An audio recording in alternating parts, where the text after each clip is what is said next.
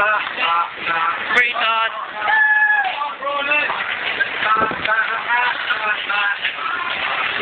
Say hi, Arthur.